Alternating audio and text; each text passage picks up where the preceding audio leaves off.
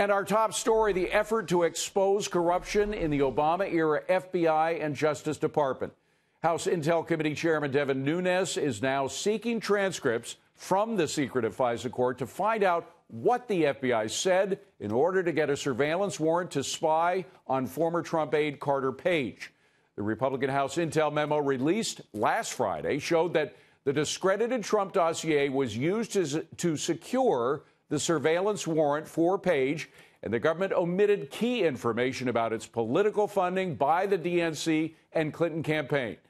Tonight, we are still waiting for the release of the Democratic memo rebutting those allegations. The White House moments ago releasing a statement saying President Trump met with the FBI director, a senior Justice Department official, as well as the White House counsel's office to get their input on the Democratic memo, adding, quote, the president is weighing his options and will respond soon. Our next guest says the evidence is already in. Obama era leaders of the FBI and DOJ willfully abused their power in order to spy on political opponents. Joining me now is Congressman Andy Biggs, a member of the House Judiciary Committee. Uh, Congressman Biggs, I first want to ask you about Senator Warner uh, because one of the key components of that FISA warrant clearly was the Trump dossier. Uh, the Trump dossier came from Mr. Steele, who may have just been passing information from the DNC uh, and then passing that on to the FISA court. But why was it that Senator Warner was so anxious to meet secretly with Mr. Steele back in February of, of 2017? Well, we don't really know because he, he hasn't really said, but but I can tell you what it looks like. It looks like he was trying to get some some juicy uh, gossip, some tidbits, something. Um, and he didn't want anyone to know. I mean, why else do you say, let's not create a paper trail? Let's meet out of the country. Let's let's make sure nobody else is, knows what's going on. Now, now it was it was rather inartfully done uh, because we do actually have that email trail. Um, and apparently, uh, the the Senate uh, knew about it uh, several months ago, but but we didn't, and it's just now coming out. So it looks funny, it looks odd, and it looks, uh, you know, you could you could deduce some malevolent intentions yeah. there if you look at it. Well, you, you mentioned that some of his uh, Senate colleagues, Republican Senate colleagues, did did know about his attempts, but it was, as far as I can tell, it seemed to be months later, uh, or at least a month later, while he was saying that uh, talking, by the way, interestingly, to a lawyer who was working for a Russian oligarch uh, while he was trying to arrange this meeting with the, the Russian oligarch's lawyer, uh, who also could intercede in him getting a meeting with Mr. Steele.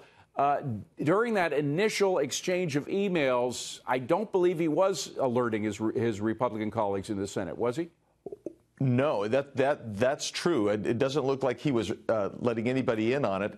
It, and not, quite frankly, not until maybe some people got suspicious. I mean, this looks like a Cold War uh, spy who came in from the cold type of thing. I mean, you're looking for, uh, was there a drop uh, locations for secret materials? I, it's just so bizarre. It is. Quite frankly, what, what we see going on. And uh, it, it, just looks really bad, at least looks really bad. Um, I'm trying to figure out, and I think we're all trying to figure out, does it tie into uh, the use of the dossier for for the FISA warrants, and does it, uh, you know, uh, tie into the DNC? Does it tie into Hillary Clinton's campaign? This is just, you know, I think, David, I think you can appreciate this. It seems like every couple of days, some big shoe drops. Yeah. And it's somehow connected to something else. It's just a very complex. We don't see many uh, shoes uh, coming from the Mueller investigation, but from this investigation, right. which which we and members of the House and the Senate are looking at, there are quite a few shoes dropping. Uh, and, and for those of us old enough to remember uh, the Cold War era, I'm, I'm reminded yeah. of that word disinformation. That's information that the Russians used to put out to try to discredit people. And the more you hear about the Steele dossier, the more you see uh, parallels to disinformation. Not only was a lot of the stuff coming from the Russians, but apparently more and more and more we're finding out that the stuff came directly from the DNC, from the Democratic National Committee. And Mr. Steele may have just been pimping it out uh, to various agencies, including, by the way, the FBI. Oh, absolutely. It's, it's outrageous, but, but that's how badly they wanted to keep power. And this is, this is what is so bad about this is that we are uh, a, a constitutional republic. We're built on representation. That means we should have transparency and openness. And this kind of, I mean, we're not talking dirty tricks a la Watergate breaking into, you know, that's a, that was a petty burglary to, to find out some records. We're talking here trying to scuttle an entire political campaign and election and by, using by the using powers. by using one of the most sacred courts in the land. The FISA court is the one court that allows our, our spying agencies, whether it's domestic spying through the FBI or international spying through the CIA, to spy on Americans. If that is abused, it goes to the core of what keeps us safe from the government uh, turning tail on the people.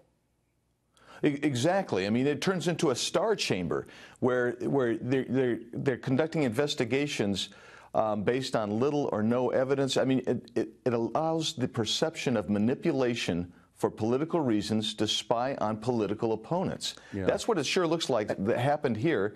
And that's what all the evidence is pointing Right. to. I don't dispute that. I think that's what happened exactly. Mr. Biggs, I got to ask one more question, even though they're giving me a wrap here, which is that uh, we know we're beginning to find out the frightening details of how this was used. The FISA court was used for political purposes. I'm wondering if you've suspected if this was kind of a matter of course, if this had been done before.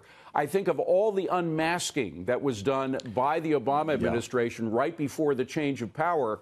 Uh, some of it happened after the election, but before Donald Trump took over as president. All that unmasking, is it just coincidental that it happened right before and right after the election?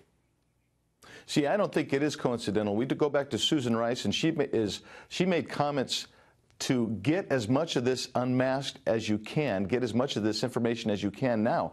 And by the way, most people think it's oh, it's just some data, phone numbers, and whatnot. It is far more than just data of and phone numbers. There's a whole lot of information that goes with unmasking, and I think it's a pattern, and I think it's uh, an abusive pattern. We see it in the Obama administration. I'd like to know how far it goes back. I want to know how deep it goes, and the American people need to know that as well.